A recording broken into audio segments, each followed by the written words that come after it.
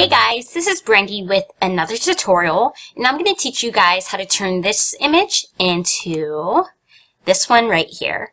So let's not waste any more time and let's get started.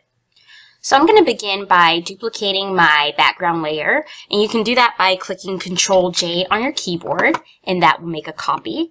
And now I'm going to go right here to my little menu and go up to Color Lookup.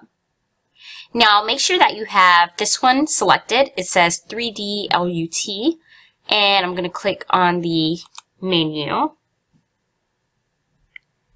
And I'm going to select Foggy Night. So I'm going to select the background layer, well, layer 1 right here, and now I'm going to click on my curves.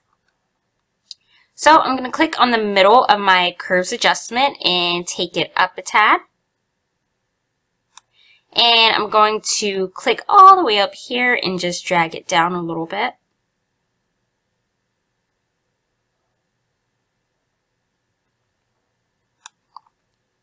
And now I'm going to select my levels. I'm going to brighten it just a little bit. I'm going to drag my shadows over.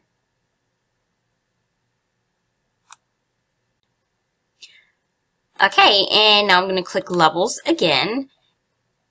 And this time I'm just going to drag my shadows about right there. And now click uh, B on your keyboard for your brush. And make sure that your brush is a soft brush. So I have this one selected. Um, make sure your hardness is at zero. And I'm just going to paint the effect off of there.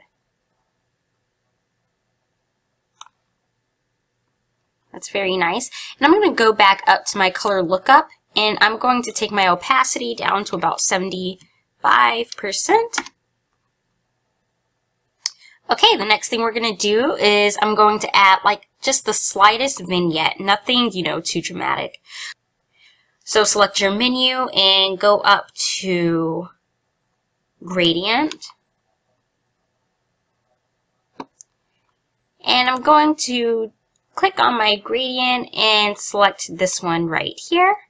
Select OK, and I'm going to change my style from linear to radial, and make sure you inverse that.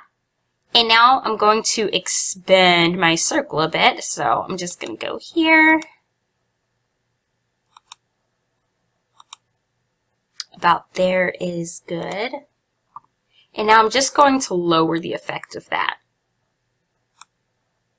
So I'll say 50 will be fine. So before, after, and that is good.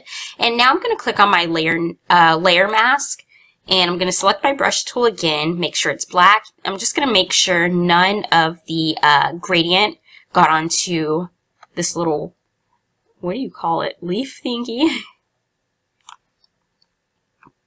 and there we go. So the last thing I'm going to do is I'm going to click on my background layer and I'm going to go to Filter. I'm going to go to Other and select High Pass. So what I'm doing right now is I'm just sharpening my image as a whole. Uh, so to do this, you're just going to take your radius up. And you're going to keep going up until you can start to see some detail in this box area. So I think that's sharp enough, but for you guys to see the effects, I'm just going to take it up just slightly more. So about 2.5 should be plenty. Select OK. And now I'm going to change my blending mode to soft light. And that sharpened it up a ton. And lastly, I am going to go back to my uh, levels again. I should have done this earlier, but I'm going to go to my levels and uh, I'm going to, I'm going to drag this right up here. What I'm going to do is I'm just going to make this a tad darker. So about right, let's see. Right there is good.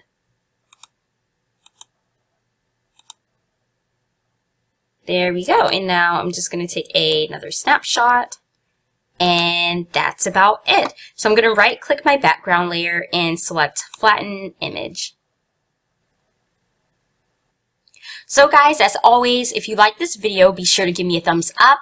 If you have any questions or comments, feel free to comment down below.